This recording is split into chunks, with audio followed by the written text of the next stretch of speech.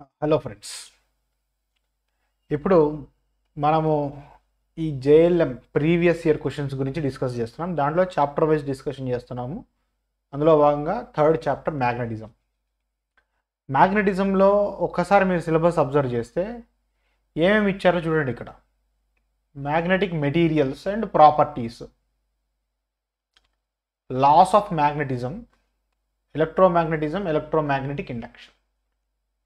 So ఈ పే ఈ బేసిక్ ఏరియాస్లోనే మనం కాన్సన్ట్రేట్ చేయాల్సి ఉంటుంది. రైట్ ఇప్పుడు TRANSCO two thousand eighteen question చూడండి. Which of the following magnetic material has magne maximum magnetic permeability permeability అంటే మనకి కండక్టివిటీ ఎలక్ట్రికల్లో కండక్టివిటీతో సమానం. అంటే ఎంత బాగా మ్యాగ్నెటిక్ ఫ్లక్స్ని అలో చేస్తుంది ఒక మెటీరియల్ అనేది మ్యాగ్నెటిక్ పర్మియబిలిటీ ఆ మ్యాగ్నెటిక్ పర్మియబిలిటీని మనం మెజర్ చేయడానికి ఏం వాడతాం? ఏ ఇండికేషన్ యూజ్ చేస్తాం? ఏ స్పెసిఫికేషన్ యూజ్ చేస్తాం? అంటే మ్యూ ఆర్ అంటే relative permittivity permeability relative permeability అనేటువంటి ఒక మెజర్ని మనము యూజ్ చేస్తాం అన్నమాట. సో రిలేటివ్ పర్మియబిలిటీ అంటే ఏంటిది? రిలేటివ్ పర్మియబిలిటీ అంటే symbol mu r is equal to mu by mu naught ఇది గుర్తుపెట్టుకోండి. Mu by mu naught mu naught అంటే ఏంటంటే పర్మిటివిటీ పర్మియబిలిటీ ఆఫ్ ఎయిర్ అర్థమవుతుందా? Permeability of air permeability of air అని అంటే గాలి కానీ వ్యాక్యూమ్ కానీ తన ద్వారా మ్యాగ్నెటిక్ ఫ్లక్స్ని ఎంత బాగా అలో చేయగలదు అని మనం మెజర్ చేయగలిగినటువంటి ఒక ప్రమాణమే ఈ పర్మియబిలిటీ అనమాట సో ఈ మ్యూనాట్ యొక్క వాల్యూ ఎంత ఉంటుందంటే four pi into ten power minus seven henry per metre ఉంటుంది అండ్ ఇది మ్యూ వచ్చేసి permeability of the material under consideration అంటే ఇప్పుడు నేను ఏ మెటీరియల్ని కన్సిడరేషన్లోకి తీసుకుంటున్నా. సో దాన్ని నేను ఎయిర్ పర్మియబిలిటీతో కంపారిజన్ చేస్తే వచ్చేటువంటి రేషియోనే రిలేటివ్ పర్మియబిలిటీ అంటే రిలేటివ్ పర్మియబిలిటీ అంటే గాలికి కంపేర్ చేసుకుంటే ఎయిర్ని స్టాండర్డ్గా తీసుకుంటే రెఫరెన్స్గా తీసుకుంటే మనకి ఎన్ని రెట్లు ఎక్కువ ఫ్లక్స్ని అది అలౌ చేస్తుంది ఆ మెటీరియల్ అనేది రిలేటివ్ పర్మియబిలిటీ ఇప్పుడు నాకు ఒక మాట చెప్పండి. నా దగ్గర ఒక ఇది ఒక ఐరన్ టూల్ ఏదో ఉంది ఇప్పుడు. ఫర్ ఎగ్జాంపుల్ ఇది ఒక ఐరన్ స్టీల్ కదా స్టీల్ ఇది బేసిక్ మైల్డ్ స్టీల్ ఎంఎస్ ఇది. సో ఇది మ్యాగ్నెట్గా తయారు చేయొచ్చా? గాలిని మ్యాగ్నెట్ లాగా తయారు చేయొచ్చా? ఇదే మ్యాగ్నటైజ్ అవుతుంది. దీంట్లోనే ఎక్కువ మ్యాగ్నెటిక్ ఫ్లక్స్ అనేది పోతుంది ఆబ్వియస్లీ గాలి కంటే. సో గాలిలోకి కూడా మ్యాగ్నెటిక్ ఫ్లక్స్ పోతుంది పోదని కాదు. ఇప్పుడు ఆ గాలికి కంపేర్ చేసుకుంటే ఈ మెటల్ రాడ్కి ఎన్ ఎన్ని రెట్లు డిఫరెన్స్ ఉంటుంది? ఆ రెట్లను చూపించేదే రిలేటివ్ పర్మియబిలిటీ అనమాట సో ఆ రకంగా చూసుకుంటే ఇక్కడ ఇచ్చినటువంటి నాలుగు ఆప్షన్స్లో దేనికి మ్యాక్సిమం ఉంటుంది? అంటే స్టీల్కి ఉంటుంది. ఎంత ఉంటుంది అంటే దగ్గర దగ్గర నలభై వేల నుంచి ఎనభై వేల రెట్లు ఎక్కువ ఉంటుంది ఎయిర్ కంటే కంపారిటివ్లీ ఓకే? అండ్ అన్నిటికంటే లీస్ట్ దేనికి ఉంటుంది అంటే ఈబోనైట్ ఉంటుంది. లీస్ట్ దీంట్లో. ఈబోనైట్ తర్వాత కాపర్ లీస్ట్ దాని తర్వాత aluminium and maximum steel so బేసిక్గా ఇక్కడ ఇచ్చినటువంటి మూడు ఆప్షన్స్లో స్టీల్ని మాత్రమే ఒక మ్యాగ్నెటిక్ మెటీరియల్ కింద వాడుకోవచ్చు. ఎందుకంటే స్టీల్ అనేది మనకి ఫెరో మ్యాగ్నెటిక్ మెటీరియల్ కేటగిరీకి వస్తుందన్నమాట. మనం ఆల్రెడీ డిస్కస్ చేసుకున్నాం. మ్యాగ్నెటిక్ మెటీరియల్స్ రెండు రకాలు మూడు రకాలు ఉంటాయి. డయా పారా ఫెరో. ఫెరో కిందికి వస్తుంది. వాటర్ అనేది డయా మ్యాగ్నెటిక్ మెటీరియల్ కిందికి వస్తుంది. సో బేసిక్గా ఈ డయా మ్యాగ్నెటిక్ మెటీరియల్ అని దేని అంటారంటే దేని యొక్క రిలేటివ్ పర్మియబిలిటీ వన్ కంటే తక్కువగా ఉంటుందో. రిలేటివ్ పర్మియబిలిటీ వన్ కంటే తక్కువగా ఉందంటే గాలి కంటే తక్కువ ఎయిర్ కంటే తక్కువ ఫ్లక్స్ని అలౌ చేస్తుంది. ఇంకా ఏరే అనుకుంటే దానికంటే వరస్ట్ అన్నట్టు. పారామాగ్నెటిక్ మెటీరియల్స్ ఉంటాయి దీని తర్వాత. పారామాగ్నెటిక్ మెటీరియల్ అంటే రిలేటివ్ పర్మియబిలిటీ వన్ కంటే ఎక్కువ ఉంటుంది. అంటే గాలి కంటే బెటర్ అనమాట for example aluminium paramagnetic material next ferro వస్తుంది. పెరో అంటే relative permeability greater than one కానీ చాలా పెద్దగా ఉంటుంది వాల్యూ అంటే చాలా పవర్ఫుల్ సో ఈ మూడిట్లు చూసుకుంటే పారామాగ్నెటిక్ మెటీరియల్స్తో మ్యాగ్నెట్స్ తయారవుతాయి కానీ చాలా చాలా వీక్ మ్యాగ్నెట్స్ అది. అసలు మనం ప్రాక్టికల్గా యూజ్ కూడా చేయాల్సిన అవసరం లేదు.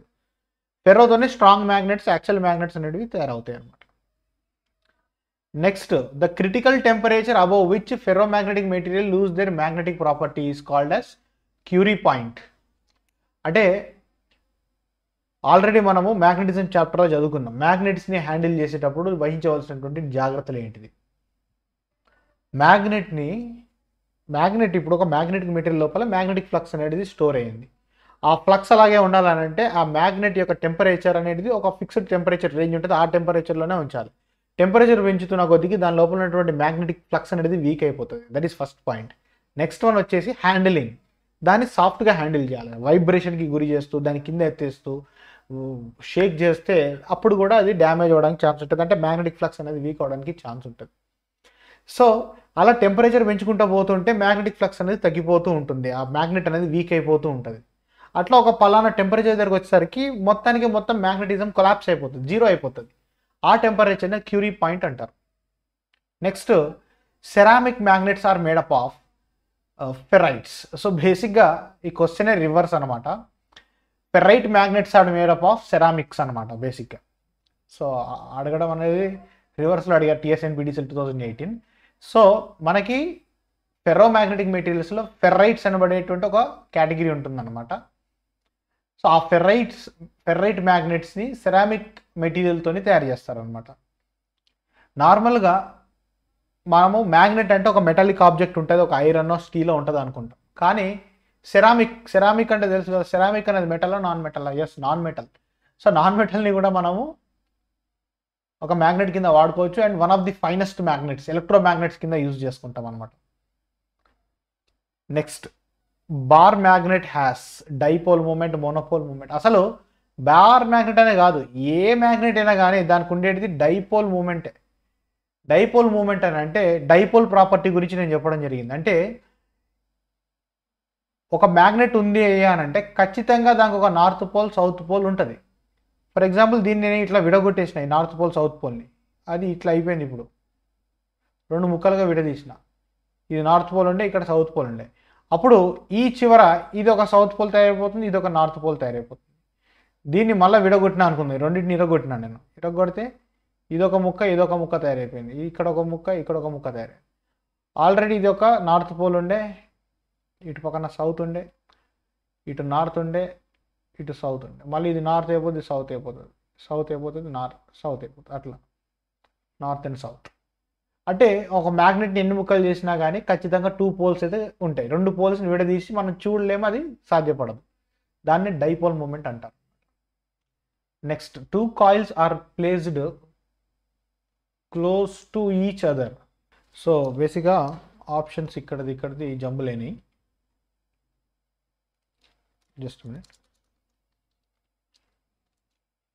two coils are place close to each other with their inductances L one and L two mutual inductance of the pair of the coil is proportional to so already మనకు తెలుసు. ఇప్పుడు ఒక ట్రాన్స్ఫార్మర్ తీసుకుంటే ఒక ట్రాన్స్ఫార్మర్లో ఏముంటుంది? ఒక ప్రైమరీ కాయిల్ ఉంటుంది ఇంకొకటి సెకండరీ కాయిల్ ఉంటుంది. కాయిల్ అంటే ఏంటిది? ఒక ఇండక్టర్ కాయిల్ ఇండక్టర్ కాయిల్ యొక్క పని ఏంటిది? కరెంట్ తీసుకొని మ్యాగ్నెటిక్ ఫ్లక్స్ని ప్రొడ్యూస్ చేయడం. ఇండక్టెన్స్ అంటే ఏంటిది? It is a property by which a conductor can produce flux ఒక కండక్టర్ ఫ్లక్స్ని ప్రొడ్యూస్ చేయగలుగుతుంది అంటే దాని లోపల ఇండక్టెన్స్ అనబడేటువంటి ప్రాపర్టీ ఉంది కాబట్టి ప్రొడ్యూస్ చేయగలుగుతుంది. సో ప్రతి కాయిల్కి ఇండక్టెన్స్ ఉంటుంది. ఇక్కడ రెండు కాయిల్స్ ఉన్నాయి. పక్క పక్కన ప్లేస్ చేయబడి ఉన్నాయి. L one and L two ఇప్పుడు సాధారణంగా ఈ ఎల్ వన్ కాయిల్ని మనం సప్లైకి కనెక్ట్ చేస్తాము. కనెక్ట్ చేసినప్పుడు దీని నుంచి సమ్ కరెంట్ ఐ వన్ అనేది ప్రవహిస్తుంది. ఆ కరెంట్ వచ్చినప్పుడు ఈ ఎల్ వన్ కాయిల్ నుంచి బయటికి ఒక ఫ్లక్స్ అనేది క్రియేట్ అవుతుంది. ఇప్పుడు సెకండ్ కాయిల్ ఏదైతే ఉందో ఎల్ టూ ఇండక్టెన్స్ ఇది ఎల్ వన్ పక్కనే ఉంది.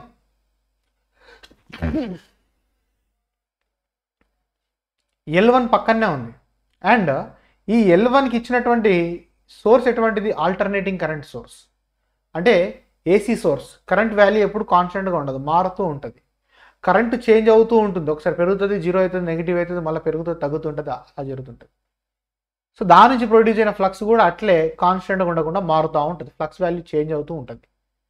సో ఈ సెకండ్ కాయిల్కి ఫస్ట్ కాయిల్ నుంచి మ్యాగ్నెటిక్ ఫ్లక్స్ వచ్చి టచ్ అవుతుంది. లింక్ అవుతుంది. ఆ లింక్ అవుతున్నటువంటి ఫ్లక్స్ కూడా పెరగడం తగ్గడం ఇదంతా జరుగుతుంది. కదా? సో ఎప్పుడైనా కానీ a flux linking to the coil is changing అని అంటే ఆ కాయిల్ లోపల ఈఎంఎఫ్ ఇండ్యూస్ అవుతుంది. అప్పుడు ఈ ఎల్ టూ లోపల ఈఎంఎఫ్ అనేది ఇండ్యూస్ అవుతుంది. బేసిక్గా ఈ ఎల్ వన్ కాయిల్ నుంచి వచ్చినటువంటి ఫ్లక్స్ ఈ ఎల్ వన్ ఫస్ట్ కాయిల్ కూడా లింక్ అవుతుంది. సో ఫస్ట్ కాయిల్లో కూడా ఈఎంఎఫ్ ఇండ్యూస్ అవుతుంది. మనకి Faraday's laws of electromagnetic induction ప్రకారం చూస్తే.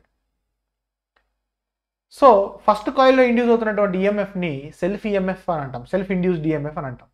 ఎందుకనంటే తన ద్వారా వెళ్తున్నటువంటి కరెంట్ నుంచి ప్రొడ్యూస్ అయినటువంటి తన నుంచి ప్రొడ్యూస్ అయినటువంటి ఫ్లక్స్ చేంజ్ అవ్వడం వల్ల తన లోపల ఎక్స్ట్రా ఈఎంఎఫ్ ఇండ్యూస్ అవుతే దాన్ని సెల్ఫ్ ఇండ్యూస్డ్ ఈఎంఎఫ్ అంటారు.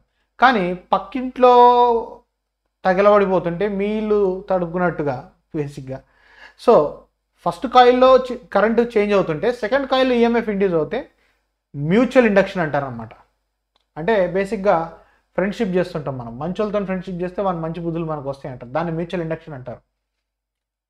సో ఆ మ్యూచువల్ ఇండక్టెన్స్ ఎంత ఉంది ఇప్పుడు ఈ రెండు కాయిల్స్ ఈచ్ కాయిల్కి ఇండక్టెన్స్ ఉంది. L one and L two అనేది చెప్పేది ఒక ఫ్యాక్టర్ ఉంటుందన్నమాట. దాన్ని ఏమంటారంటే ఎం సో ఈ మ్యూచువల్ ఇండక్టెన్స్ అనేది ఎప్పుడైనా కానీ మ్యాక్సిమం ఎంత ఉండొచ్చు అంటే K times of L one L two under root L one into L two ఇది ఫార్ములా అనమాట ఈ కే ఏదైతే ఉందో దీన్ని ఏమంటారు? కోవిషియంట్ ఆఫ్ మ్యాగ్నెటిక్ కప్లింగ్ అంటారు అనమాట కోవిషియంట్ ఆఫ్ మ్యాగ్నెటిక్ కప్లింగ్ అంటారు అనమాట సో మ్యాక్సిమం కప్లింగ్ ఉంది బెస్ట్ కప్లింగ్ ఉంది అని అంటే K is equal to one అంటారనమాట కప్లింగ్ అంటే బేసిక్గా ఈ రెండు కాయిల్స్ మధ్యలో ఫ్లక్స్ లింకేజెస్ ఎంత స్ట్రాంగ్గా ఉన్నాయి. అంటే బేసిక్గా ఈ రెండు కాయిల్స్ ఎంత క్లోజ్గా ఉన్నాయని అనమాట so for example K is equal to one అనుకుందాం. మ్యాక్సిమం వాల్యూ ఎం అనేది కే ఈక్వల్ టు వన్ ఉన్నప్పుడు వస్తుంది. అప్పుడు M is equal to K times of under root L one into L two అయిపోతుంది అనమాట so mutual inductance of the coil is proportional to under root L one into L two దానికి directly proportional అనమాట magnetism of a magnet cannot be destroyed by heating ద్వారా destroy అవుతుంది hammering ద్వారా destroy అవుతుంది. Cooling ద్వారా maybe destroy అవ్వచ్చు. By inductive action of another magnet ఇంకొక మ్యాగ్నెట్ని తీసుకొచ్చి ఆ మ్యాగ్నెట్ పక్కన పెడితే ఆ మ్యాగ్నెట్ స్ట్రాంగ్ అవుతుంది కానీ అది డిస్ట్రాయ్ అవడానికి అయితే ఛాన్స్ లేదు. సో ఆప్షన్ సి అనేది right answer magnitude of force acting on a current carrying conductor place in the magnetic field is independent of so force is equal to BIL sine theta magnetic ఫీల్డ్లో place చేయబడ్డటువంటి current మీద force act అవుతుంది. ఇది ఏం principal ఇది? ఇది Lorentz law దీన్నే మనం డీసీ మోటార్ ప్రిన్సిపల్ కింద కూడా చెప్తామని చెప్పాం కదా ఆల్రెడీ అంటే ఎప్పుడైనా కానీ ఒక కరెంటుని క్యారీ చేస్తున్నటువంటి కండక్టర్ని తీసుకొచ్చి మ్యాగ్నెటిక్ ఫీల్డ్లో కూర్చోబెడితే ఆ కండక్టర్ అనేది తిరగడం స్టార్ట్ అవుతుంది. దాని మీద ఫోర్స్ యాక్ట్ అవుతుంది. ఆ ఫోర్స్ అనేది నువ్వు అక్కడ ప్లేస్ చేసినటువంటి మ్యాగ్నెటిక్ ఫీల్డ్ డెన్సిటీ ఎంత? బి ఆ కండక్టర్ నుంచి ఎంత కరెంట్ పోతుంది? ఐ అండ్ ఆ కండక్టర్ యాక్టివ్ లెంత్ ఎంత? అంటే ఎంత కండక్టర్ లెంత్ అనేది యాక్చువల్గా ఫ్లక్స్లో ఉన్నది. అనే దాని మీద డిపెండ్ అవుతుంది అనమాట సో ఇక్కడ చూసుకుంటే ఈజ్ ఇండిపెండెంట్ ఆఫర్ అంటున్నాడు. ఫ్లక్స్ డెన్సిటీ పైన డిపెండ్ అవుతుంది. సో ఇది ఆన్సర్ కాదు. లెంత్ ఆఫ్ ద కండక్టర్ మీద డిపెండ్ అవుతుంది. ఇది ఆన్సర్ కాదు. Current flowing through the conductor మీద డిపెండ్ అవుతుంది. ఆన్సర్ కాదు. Cross section area of the conductor. ఇది right answer. Cross section area of the conductor అంటే కండక్టర్ అనేది దొడ్డుగుందా లావుగా ఉందా సన్నగా ఉందా అనే దాని మీద అవసరం లేదు. దాని మీద డిపెండ్ కాదు. అది జస్ట్ దాని లెంత్ మీద డిపెండ్ అవుతుంది. Next question. What will be the current passing through an air core coil when number of turns is 800 ampere turns are 200 ఇక్కడ ఏమి ఇచ్చాడు? ఆంపియర్ టర్న్స్ యాంపియర్ టర్న్స్ అంటే ఏంటిది? ఆంపియర్ టర్న్స్ అంటే MMF magnetic motive force MMF అంటే ఏంటిది? Number of turns into current so number of turns ఎంత ఇచ్చాడు? ఎయిట్ హండ్రెడ్ ఇచ్చాడు. కరెంట్ వాల్యూ కావాలంటున్నాడు. So I is equal to ఏమైపోతుంది ఎంఎంఎఫ్ బై ఎన్ ఎంఎంఎఫ్ ఎంత అంట? థర్టీ టూ హండ్రెడ్ అని ఇచ్చిండు. Thirty two hundred by eight hundred చేస్తే ఏమైపోతుంది? ఫోర్ యాంపియర్స్ అయిపోతుంది. అంటే ఆప్షన్ బి అనేది రైట్ ఆన్సర్ అయిపోతుంది. నెక్స్ట్ క్వశ్చన్ చూడండి. TSNPDCL two thousand eighteen. So number of turns area current of an AC circuit is doubled. Then the new inductance will be అని అడుగుతున్నాడు. So inductance value అడుగుతున్నాడు ఇక్కడ. Right. So అసలు inductance value formula అనేది మనకు తెలియాలి. So inductance అంటే ఏంటిది? ఫ్లక్స్ ప్రొడ్యూసింగ్ కెపాసిటీ అని చెప్పాను కదా. So flux linkages per current అనేది ఇండక్టెన్స్ యొక్క ఫార్ములా. ఫ్లక్స్ లింకేజెస్ అంటే ఏంటిది? ఇట్లా ల్యాండా బై కరెంట్ ఐ అని చెప్తాం అనమాట ల్యాండా అంటే ఏంటిది? ఫ్లక్స్ లింకేజెస్ అంటే ఏంటి ఎన్ ఇంటూ ఫైవ్ ఇది flux linkages by current I. ఇది ఇండక్టెన్స్ యొక్క ఫార్ములా. దీంట్లో ఫ్లక్స్ ఫై అంటే మనం మ్యాగ్నెటిక్ సర్క్యూట్ నుంచి ఎంఎంఎఫ్ బై రిలక్టెన్స్ అని కూడా మనం రాయొచ్చు. ఎంఎంఎఫ్ అంటే ఏంటిది? ఇప్పుడే చూసినాం. N into I turns into current అనేది ఎంఎంఎఫ్ రిలక్టెన్స్ అంటే ఏంటిది? మనకి రెసిస్టెన్స్ ఎట్లనో మ్యాగ్నెటిక్ సర్క్యూట్స్లో రిలక్టెన్స్ ఎట్లా? మనకి రెసిస్టెన్స్ అంటే ఏమని రాస్తాం? రో ఎల్ బై ఏ అని చెప్పి రాస్తాం కదా? ఓకే సో అదే రకంగా రిలక్టెన్స్ని ఏం చేస్తామనంటే సేమ్ అదే. ఎల్ బై ఏ ఉంటుంది. కాకపోతే ఇక్కడ రో బదులు వన్ బై మ్యూ అని చెప్పి రాస్తాం. ఎందుకంటే అక్కడ రో అంటే రెసిస్టివిటీ ఇక్కడ మ్యూ అంటే పర్మియబిలిటీ అంటే ఈక్వల్ టు కండక్టివిటీ అనమాట okay so ఇదేమైపోతుంది? N into I into mu into A by L అయిపోతుంది. దట్ ఈస్ ఫ్లక్స్ వాల్యూ అనమాట ఫ్లక్స్ వాల్యూ ఆ ఫ్లక్స్ వాల్యూ తీసుకుపోయి పైన సబ్స్టిట్యూట్ చేసేస్తే అప్పుడు మనకి ఏమొస్తుంది? N square into A into mu by L వస్తుంది. ఎందుకంటే కరెంటు పైన కింద కట్ అయిపోతాయి అనమాట సో ఓవరాల్గా మనకి this is the inductance value అనమాట సో ఇండక్టెన్స్ అనేది ఎన్ స్క్వేర్ అంటే number of turns square and cross section area of that conductor into mu value divided by length of the conductor మీద depend అవుతుంది. ఇక్కడ వాడు ఏమన్నాడు? టర్న్స్ని డబల్ చేసామని అన్నాడు. ఫస్ట్ టర్న్స్ని ఏం చేశాడు? డబల్ చేశాడు. టూ టైమ్స్ ఎన్ చేశాడు. ఏరియా కూడా డబుల్ అయిపోయింది. టూ టైమ్స్ ఆఫ్ ఏరియా కరెంట్ని కూడా డబుల్ చేసిండు. కానీ ఇండక్టెన్స్ అనేది కరెంట్ మీద డిపెండ్ కావట్లేదు. Number of turns square into A into mu by L so current మీద మనకి అవసరం లేదు. ఇప్పుడు టర్న్స్ డబుల్ అయినాయి అని అంటే కండక్టర్ లెంత్ కూడా డబుల్ అయినట్టే కదా? ఫర్ ఎగ్జాంపుల్ నా దగ్గర ఒక ఒక మీటర్ వైర్ ఉంది. ఒక మీటర్ వైర్తో నేను ఒక పది చుట్లు చుట్టిన. ఇప్పుడు నేను ట్వంటీ చుట్లు చేయాలంటే మీటర్ వైర్ లెంత్ ఎంత తీసుకోవాలి? రెండు మీటర్లు తీసుకోవాలి. సో వాడు అక్కడ చెప్పకపోయినా కూడా లెంత్ కూడా డబుల్ అయిపోయినట్టు మీనింగ్ అనమాట సో ఇవన్నీ ఫార్ములాస్ ఇందులో వాల్యూస్ అన్ని దీనిలో సబ్స్టిట్యూట్ చేద్దాం. సో లెంత్ ఏమైపోయింది? టూ ఎన్ అయిపోయింది. ఏరియా ఏమైపోయింది? టూ ఏ అయిపోయింది. బై మ్యూ బై లెంత్ ఏమైపోయింది? టూ ఎల్ అయిపోయింది. Two two cancel two square ఏమైపోయింది? Four so four into N square mu by L so mu A by L so మనకి ఏమైపోయింది? Four times పెరిగిపోయింది. Inductance అనేది four times పెరిగింది. Four times the former what will be the current passing four amperes ఇది ఇప్పుడు ఇందాక చేసినాం already the value of induced EMF in an electromagnetic circuit is given by options so value of induced EMF in an electromagnetic circuit is given by option three is equal to minus N d phi by dt ఈ minus అనేది Lenz law అని indicate చేస్తుంది. ఇది మనకు తెలిసిందే. Next the law which states that induced EMF always opposes the very cause of it was discovered by Lenz law ఇదే అనమాట లెన్స్లో నేను చెప్పింది. అంటే లెన్స్లో ఏం చెప్తారని అంటే ఇప్పుడు మనకి changing flux d phi by dt అంటే ఏంటిది? టైం ప్రకారం చేంజ్ అవుతున్నటువంటి ఫ్లక్స్ కాన్స్టెంట్గా లేని ఫ్లక్స్ అనేది ఒక కండక్టర్ మీద లింక్ అవుతే అంటే ఎన్ నెంబర్ ఆఫ్ టర్న్స్ కలిగినటువంటి ఒక కండక్టర్ మీద లింక్ అవుతే ఆ కండక్టర్లో ఈఎంఎఫ్ ఈ అనేది ఒక ఈఎంఎఫ్ ఇండ్యూస్ అవుతుంది. అండ్ ఆ ఈఎంఎఫ్ యొక్క పొలారిటీ ఎట్లుంటుంది? మైనస్ ఉంటుంది. అంటే ఏదైతే దాన్ని ప్రొడ్యూస్ చేస్తుందో ఆ వోల్టేజ్ని అపోజ్ చేసే డైరెక్షన్లో ఈ ఈఎంఎఫ్ అనేది ప్రొడ్యూస్ అవుతుంది. ఇది ఒకసారి అర్థం చేసుకోవడానికి ఒకసారి చూడండి. ఇప్పుడు ఇది ఒక కాయిల్ ఉన్నది. ఓకే ఇది ఒక కాయిల్ ఉన్నది. ఈ కాయిల్కి నేను ఒక ఏసీ సోర్స్ని కనెక్ట్ చేశాను. చేస్తే ఏమొచ్చింది? ఒక ఏసీ కరెంట్ అనేది ఈ కాయిల్ ద్వారా ప్రవహిస్తుంది. అప్పుడు కరెంట్ అనేది కాయిల్ నుంచి వెళ్ళినప్పుడు ఏమవుతుంది? కాయిల్ నుంచి ఒక ఫ్లక్స్ అనేది ప్రొడ్యూస్ అవుతుంది. ఇప్పుడు ఆ ఫ్లక్స్ ఏం చేస్తుంది? అదే కాయిల్కి టచ్ అవుతుంది. అంటే అదే కాయిల్కి లింక్ అవుతుంది. సో దాని నుంచి ప్రొడ్యూస్ అయినటువంటి ఫ్లక్స్తోనే అది లింక్ అయి ఉన్నది. ఇప్పుడు మనకి ఫారడేస్ లా ప్రకారము ఎప్పుడైనా కానీ ఒక కండక్టర్కి టచ్ అవుతున్నటువంటి ఫ్లక్స్ అనేది చేంజ్ కావాలి. దాని వాల్యూ చేంజ్ కావాలి. ఇప్పుడు కండక్టర్కి టచ్ అవుతున్నటువంటి ఫ్లక్స్ చేంజ్ కావాలంటే రెండు విధ రెండు రెండు రకాలుగా చేయొచ్చు. ఒకటి ఫస్ట్ ఒకవేళ నువ్వు ఒక మ్యాగ్నెట్ ద్వారా ఫ్లక్స్ ప్రొడ్యూస్ చేస్తున్నావు అనుకోండి. ఫర్ ఎగ్జాంపుల్ నా చెయ్యి ఇది ఒక మ్యాగ్నెట్ అనుకుందాం. ఫర్ ఎగ్జాంపుల్ ఇది ఒక మ్యాగ్నెట్ అనుకుందాం. ఈ మ్యాగ్నెట్ నుంచి ఫ్లక్స్ బయటకు వస్తుంది. ఇది ఒక కండక్టర్. ఇప్పుడు ఈ మ్యాగ్నెట్ నుంచి వచ్చేటువంటి ఫ్లక్స్ ఈ కండక్టర్కి టచ్ అవుతుంది లింక్ అవుతుంది. ఇప్పుడు ఈ కండక్టర్ మీద లింక్ అవుతున్నటువంటి కండక్టర్స్ ఈ ఫ్లక్స్ని నేను చేంజ్ చేయాలంటే మూవ్ చేయాలి. ఈ కండక్టర్ని ఫ్లక్స్నో దేన్నో ఒకదాన్ని మూవ్ చేయాలి. అప్పుడు ఈ కండక్టర్కి లింక్ అవుతున్నటువంటి ఫ్లక్స్ వాల్యూ చేంజ్ అవుతుంది కదా. ఫ్లక్స్ చేంజ్ అయినప్పుడు దీని లోపల ఈఎంఎఫ్ ఇండ్యూస్ అవుతుంది.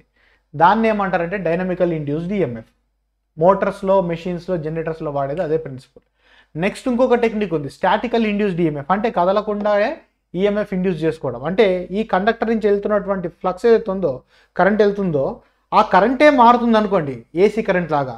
దాని నుంచి ప్రొడ్యూస్ అయినటువంటి ఫ్లక్స్ కూడా మారుతుంటుంది. నువ్వు ఫిజికల్గా మార్చకపోయినా కూడా ఆటోమేటిక్గా ఫ్లక్స్ నేచరే చేంజింగ్ నేచర్ ఆ ఫ్లక్స్ ఇదే కండక్టర్కి లింక్ అవుతుంది కాబట్టి ఈ కండక్టర్లోనే ఒక కొత్త ఈఎంఎఫ్ ఇండ్యూస్ అవుతుంది. ఇప్పుడు ఈ కొత్త ఈఎంఎఫ్ ఎట్లా ఉంటుంది అని అంటే ఆపోజిట్ డైరెక్షన్లో యాక్ట్ అవుతుంటుంది అనమాట అంటే ఈ మెయిన్ కరెంట్ని డ్రైవ్ చేసే మెయిన్ వోల్టేజ్ ఏంటిది? వి సో ఆ ఈఎంఎఫ్ ఈ ప్రొడ్యూస్ కావడానికి కారణమైనటువంటి వి వోల్టేజ్కి ఆపోజిట్గా ఉంటుంది. దట్ ఈస్ లెన్స్లో అనమాట next last question in hysteresis cycle the value of H needed to to make the intensity of magnetization zero so spelling mistake intensity intensity of magnetization zero is called as coercive force B ఒకసారి ఇది అర్థం చేసుకోవడానికి BH curve value ఒక BH కర్వ్ని తీసుకుందాం. BH curve అంటే ఏంటంటే ఇప్పుడు ఒక మ్యాగ్నెటిక్ మెటీరియల్ ఉంది నా దగ్గర. ఇది ఒక మ్యాగ్నెటిక్ మెటీరియల్ ఒక ఐరన్ బార్ అనుకుందాం. అది ఇంకా మ్యాగ్నెట్ కాదు.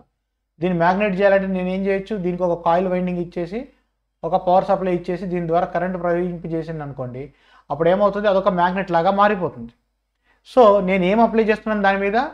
మ్యాగ్నటైజేషన్ అప్లై చేస్తున్నాను. ఫోర్స్ ఆఫ్ మ్యాగ్నటైజేషన్ అప్లై చేస్తున్నాను. దేని ద్వారా? కరెంట్ ద్వారా మ్యాగ్నటైజేషన్ ఫోర్స్ అప్లై చేస్తున్నాను. సో దాన్ని ఎక్స్ యాక్సిస్ మీద తీసుకుంటాను. H is directly proportional to current అంటే నువ్వు ఎంత కరెంట్ పంపిస్తుంటే అంత మ్యాగ్నటైజింగ్ ఫోర్స్ పంపిస్తున్నావు అన్నట్టు. ఓకే నువ్వు కరెంటు కాయిల్ ద్వారా మనము కరెంట్ మ్యాగ్నటైజింగ్ కరెంట్ పంపిస్తుంటే ఆ లోపల ఉన్నటువంటి ఆ బార్ మ్యాగ్నెట్ ఏదైతే ఉందో అది ఎంత ఫ్లక్స్ని స్టోర్ చేసుకుంటుంది? అనేది దాని యొక్క flux density B that is directly proportional to flux so ఇనీషియల్గా కరెంట్ జీరో ఈ మెటీరియల్ లోపల ఫ్లక్స్ కూడా జీరోనే ఇప్పుడు కరెంట్ పెరుగుతుంది ఆ మెటీరియల్ లోపల ఫ్లక్స్ వాల్యూ పెరుగుతుంది రైట్ ఇప్పుడు నేను ఏం చేస్తున్నానంటే ఈ కాయిల్ లోపల ఉన్నటువంటి కరెంట్ని జీరో చేస్తున్నాను. కరెంట్ని జీరో చేస్తే ఫ్లక్స్ కూడా జీరో కావాలనుకుంటాం బట్ యాక్చువల్గా ఒక్కసారి నువ్వు మ్యాగ్నటైజ్ చేసి నువ్వు కరెంటుని తీసేసిన తర్వాత ఫ్లక్స్ జీరో కాదు. ఫ్లక్స్ అనేది కొంత వాల్యూ స్టోర్ అవుతుంది. దీన్ని ఏమంటారంటే రెసిడ్యువల్ ఫ్లక్స్ అంటారు అన్నమాట రెసిడ్యువల్ ఫ్లక్స్ అంటే కరెంట్ రిమూవ్ చేసిన తర్వాత కూడా మిగిలిపోయినటువంటి ఫ్లక్స్ని రెసిడ్యువల్ ఫ్లక్స్ అంటారు. ఇప్పుడు నేను ఏం చేస్తానంటే బ్యాటరీ డైరెక్షన్ మారుస్తాను. రివర్స్ డైరెక్షన్లో కరెంటును పంపిస్తాను. రివర్స్ డైరెక్షన్లో కరెంట్ పంపిస్తే ఫస్ట్ ఇది నార్త్ పోల్ ఇది సౌత్ పోల్ అయితే ఇప్పుడు రివర్స్ డైరెక్షన్లో కరెంట్ పంపించినందుకు ఇది నార్త్ పోల్ ఇది సౌత్ పోల్ కావాలి. సో ఫ్లక్స్ డైరెక్షన్ కూడా చేంజ్ అవుతుంది. సో ఫ్లక్స్ డైరెక్షన్ని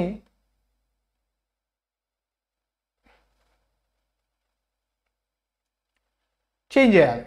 కానీ నేను రివర్స్ డైరెక్షన్లో ఫ్లక్స్ అప్లై చేసినప్పటికీ ఫ్లక్స్ అనేది స్టిల్ పాజిటివ్గా ఉన్నది చూడండి. కొంతసేపటి తర్వాత ఫ్లక్స్ జీరో అయిపోయింది ఇక్కడ జీరో అయిపోయింది. ఇప్పుడు నేను ఏం చేస్తాను రివర్స్ డైరెక్షన్లో కరెంట్ అప్లై చేస్తున్నాను రివర్స్ కరెంట్ ఇది. మైనస్ ఐ ఇది మైనస్ ఐ కానీ కొంతసేపటి తర్వాత కరెంట్ అనేది జీరో అయిపోయింది ఆ తర్వాతనే ఫ్లక్స్ నెగిటివ్ అయిపోయింది. ఇది మైనస్ ఫ్లక్స్ మళ్ళీ కరెంట్ జీరో చేసిన తర్వాత నెగిటివ్ డైరెక్షన్లో స్టోర్ అవుతుంది. తర్వాత ఈ విధంగా ఉంటుంది. సో ఈ ఎక్స్ట్రా కరెంట్ ఏదైతే ఉందో నేను కరెంట్ని రివర్స్ చేసిన వెంటనే ఫ్లక్స్ అనేది రివర్స్ కాలే. ఆల్రెడీ తన లోపల స్టోర్ అయి ఉన్నటువంటి పాజిటివ్ ఫ్లక్స్ని నలిఫై చేసి ఆ తర్వాత నెగిటివ్ డైరెక్షన్లో కరెంట్ ఫ్లక్స్ మూవడం అనేది స్టార్ట్ అయింది. సో ఆ ఎక్స్ట్రా కరెంట్ ఏదైతే ఉందో దాన్ని ఏమంటారంటే కోఎర్సివ్ ఫోర్స్ అంటారనమాట కోఎర్సివ్ ఫోర్స్ అని అంటే the value of H needed to make the intensity of magnetization zero